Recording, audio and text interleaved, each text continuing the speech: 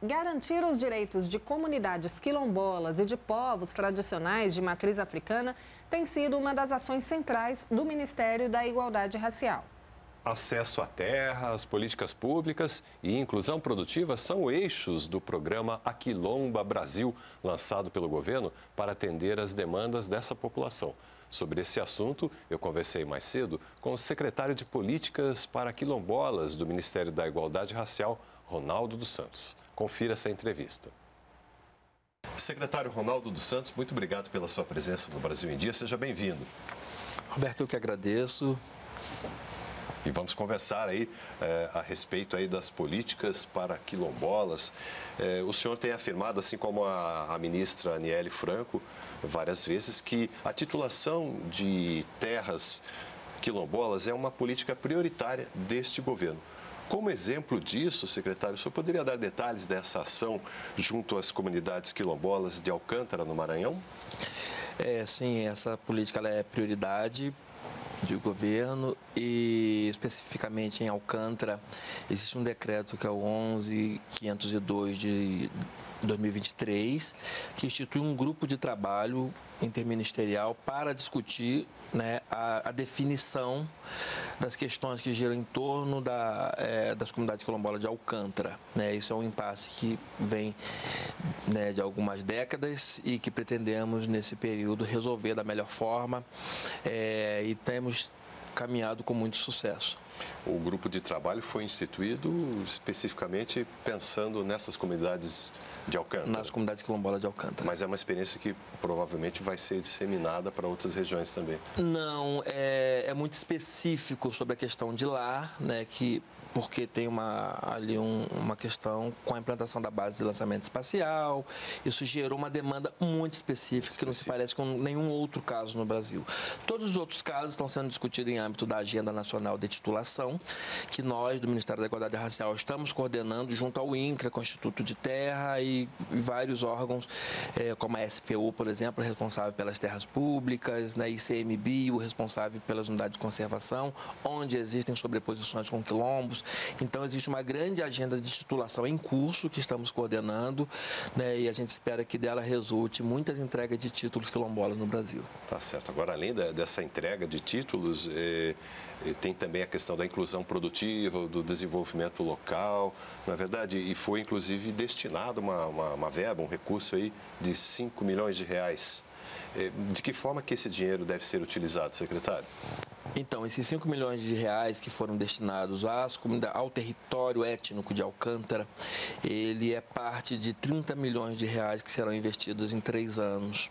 É, então, esse é apenas o início de uma ação. Temos um, um, um termo de transferência desse orçamento com o Instituto Federal do Maranhão, é, termo de execução descentralizada, é, onde vão ser feitas ações ali ligadas voltados para a agricultura familiar, né, os é, sistemas produtivos, é, enfim, e também o planejamento da execução dos próximos 25 milhões nos próximos dois anos.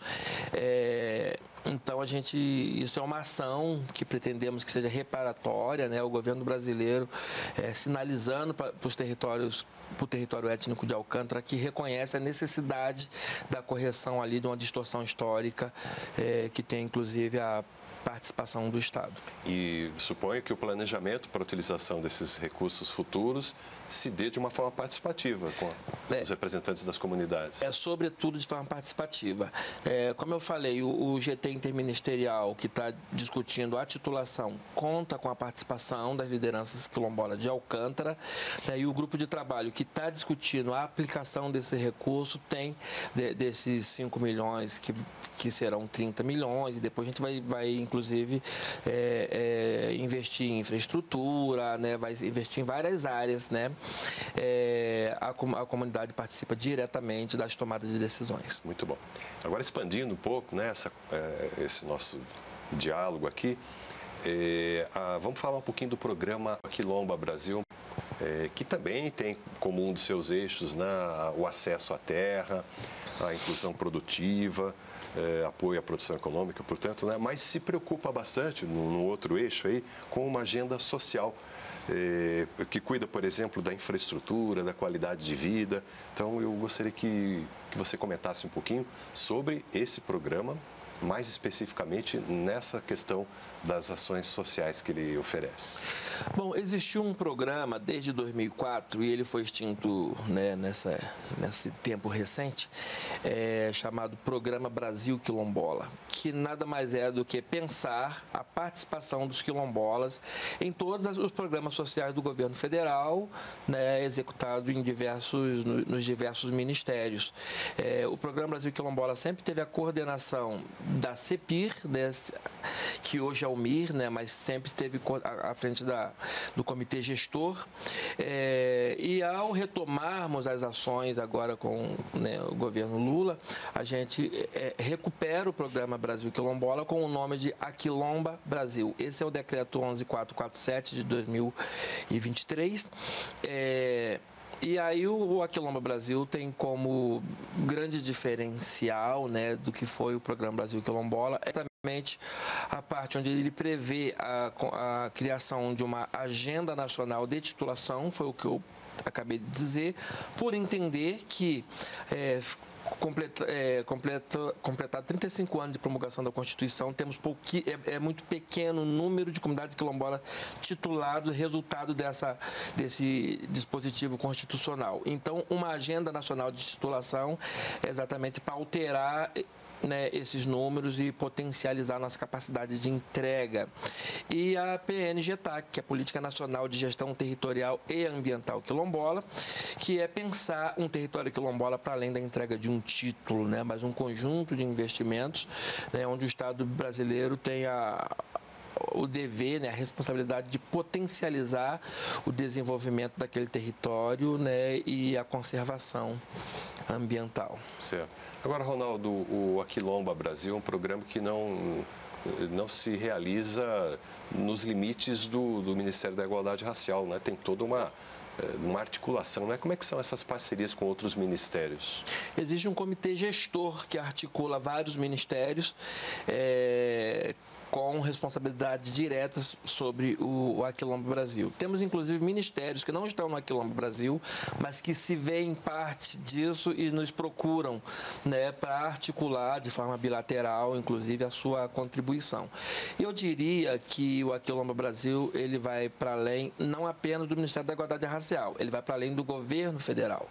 Né? A gente depende muito que estados e municípios se sensibilizem para essa agenda, é, porque muitas das ações, por exemplo, de educação são políticas municipalizadas, né? Então a gente precisa que as prefeituras se coloquem à disposição para a execução dessa política. Tá certo. Para a gente encerrar, secretário, nós estamos no mês da consciência negra no Brasil. É, o que, que, deve ser anunciado aí como novas medidas nesse, nessa área? Então, o, a Política Nacional de Gestão Territorial e Ambiental quilombola, em que pese ela esteja prevista lá no Decreto 11447, mas ela ganha um escopo né, e, um, e um ato normativo próprio que esperamos que seja decretado e anunciado agora nesse 20 de novembro, né? além de um pacote de, de medidas que serão anunciadas não só pelo Ministério da Igualdade Racial, mas por outros ministérios também, inclusive o INCRA, né, com os anúncios das decretações, das portarias de reconhecimento. São várias ações aí que esperamos ter aí anunciados no 20 de novembro. Tá, muito bem. Ronaldo dos Santos, secretário de Políticas para Quilombolas, muito obrigado pela sua participação aqui no Brasil em Dia. Eu que agradeço, Roberto.